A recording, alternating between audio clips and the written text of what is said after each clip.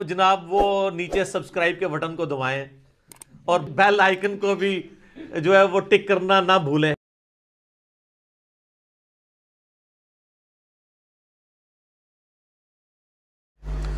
पांचवी हदीस, इफ्तार के वक्त दुआ की कबूलियत के एतबार से।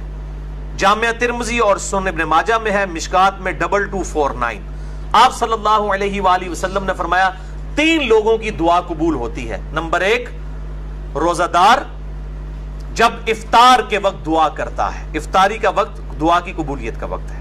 नंबर दो, आदिल बादशाह की दुआ। नंबर तीन, मजलूम की दुआ।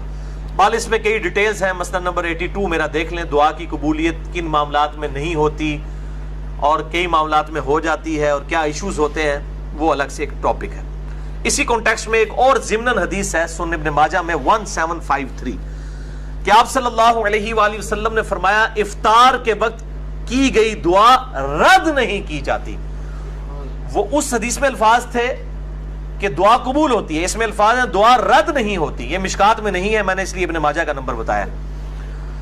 और इस हदीस के रावी कहते हैं, इब्न अबी मुलैका ताबई, के अब्दुल्ला बिन अमर बिन आस ये हदीस बयान किया करते थे और इफ्तार के वक्त वो दुआ किया करते थे।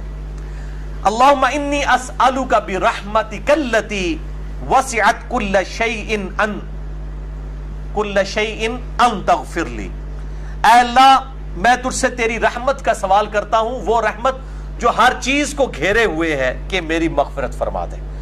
इसके अलावा भी दुआएँ कर सकते हैं। रब्बना आती ना फिर दुनिया वाली दुआ कर लें। सुबह शाम के अजगार के लिए आइडियल वक्त है। शाम के अजगार का आइडियल वक्त गुरूब आफ्ताब से पहले है।